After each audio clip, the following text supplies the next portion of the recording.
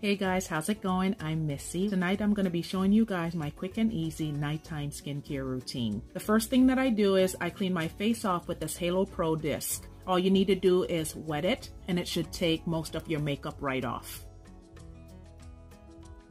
So I'm cleaning one side of my face so you guys can see the difference, okay?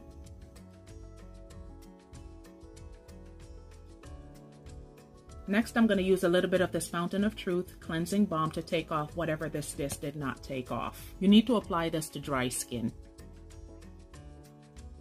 And just massage it onto your face. This should take off any dirt and grime or any leftover makeup that I have on my face. I'm gonna go ahead and hop in the shower, get this stuff off my face, and I'll be right back to apply the rest of my skincare products. Let's treat the brows first. This one is from Pure